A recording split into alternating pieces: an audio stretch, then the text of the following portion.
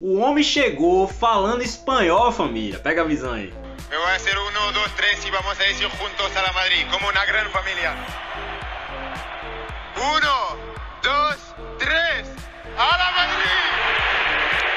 Bom, rapaziada, Mbappé devidamente apresentado, meu irmão. Agora, pergunta que não quer calar, parceiro. Será que o Mbappé vai rachar o elenco do Real Madrid ou ele vai botar pra arregaçar como ele fez no PSG, mano, e na França? Eu vi muita gente falando nas redes sociais aí, chegou o racha elenco, chegou não sei o que, chegou o patrão de Vinícius Júnior, chegou não sei o que. Galera, tá meio, né, tá rachado ali. Tem uns que tá gostando muito, tem uns que tá criticando. Agora uma coisa que a gente não pode negar é que o homem é midiático, o homem é fenômeno, rapaziada. O tanto de gente que foi ver esse cara, a expectativa da galera lá de Madrid. Mano, esse cara é um fenômeno. Tomara que dê certo, né, rapaziada? Tomara que dê certo.